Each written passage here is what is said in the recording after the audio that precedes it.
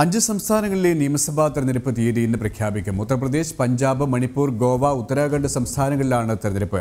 വൈകിട്ട് മൂന്ന് മുപ്പതിനാണ് തീയതി പ്രഖ്യാപനം. വിശദാംശങ്ങളുമായി ഗൗതം അനന്തനാരായണൻ ചിരികയാണ്. ഗൗതം അഞ്ച് സംസ്ഥാനങ്ങളിലെ തെരഞ്ഞെടുപ്പ് തീയതിയാണ് ഇന്ന് വൈകിട്ടോടെ പ്രഖ്യാപിക്കുക. എന്തൊക്കെയാണ് വിവരങ്ങൾ?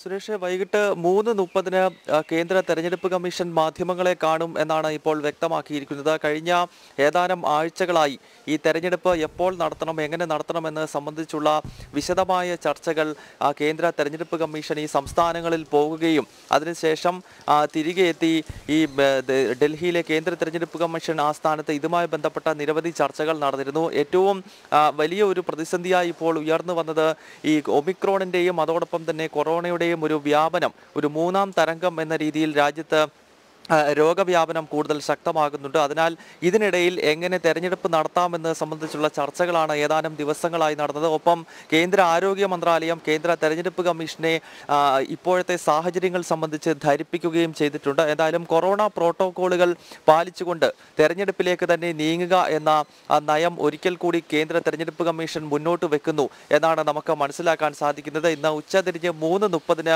കേന്ദ്ര തെരഞ്ഞെടുപ്പ് കമ്മീഷൻ മാധ്യമങ്ങളെ കാണും. സുരേഷ് നേരത്തെ ചൂണ്ടിക്കാണിച്ചതുപോലെ അഞ്ച് സംസ്ഥാനങ്ങൾ നിയമസഭാ തെരഞ്ഞെടുപ്പിലേക്ക് നീങ്ങുകയാണ്. ഉത്തർപ്രദേശിനൊപ്പം ഉത്തരാഖണ്ഡ് പഞ്ചാബ് ഗോവ വടക്കുകിഴക്കൻ സംസ്ഥാനമായ മണിപ്പൂർ എന്നിങ്ങനെ അഞ്ച് സംസ്ഥാനങ്ങളാണ് നിയമസഭാ തെരഞ്ഞെടുപ്പിലേക്ക് നീങ്ങുന്നത്. ഏതാണ്ട് വലിയ ഒരു ഇടവേളയ്ക്ക് ശേഷം വീണ്ടും നിയമസഭാ തെരഞ്ഞെടുപ്പ് നടക്കുന്നു. രണ്ടായിരത്തി ഇരുപത്തിയൊന്നിൽ കഴിഞ്ഞ വർഷം ഏപ്രിൽ മാസത്തിലാണ് കേരളം ഉൾപ്പെടെയുള്ള സംസ്ഥാനങ്ങൾ കേരളം തമിഴ്നാട് അതുപോലെ തന്നെ കേന്ദ്രഭരണ പ്രദേശമായ പുതുച്ചേരി ഒപ്പം വടക്ക് കിഴക്കൻ സംസ്ഥാനമായ ആസാമും പശ്ചിമ ബംഗാളിലും തെരഞ്ഞെടുപ്പ് നടന്നത്. അതിനുശേഷം ഏതാനും മാസങ്ങളിലേക്ക് പിന്നീട് തെരഞ്ഞെടുപ്പുകൾ ഉണ്ടായിരുന്നില്ല. ഇന്നിപ്പോൾ വൈകുന്നേരം ഈ അഞ്ച് സംസ്ഥാനങ്ങളുടെയും തെരഞ്ഞെടുപ്പ് തീയതി പ്രഖ്യാപിക്കുന്നതോടെ വീണ്ടും ദേശീയ രാഷ്ട്രീയം തെരഞ്ഞെടുപ്പ് ഗോധയിലേക്ക് നീങ്ങുകയാണ്. അതിൽ എടുത്തു പറയേണ്ടത് ഉത്തർപ്രദേശുമായി ബന്ധപ്പെട്ട തെരഞ്ഞെടുപ്പിന്റെ ചർച്ചകൾ തന്നെയാണ്. കാരണം ഉത്തർപ്രദേശ് ഇന്ത്യൻ രാഷ്ട്രീയത്തിന്റെ ആ, ഒരു കേന്ദ്ര ബിന്ദു എന്ന് വിശേഷിപ്പിക്കപ്പെടുന്ന സംസ്ഥാനമാണ്.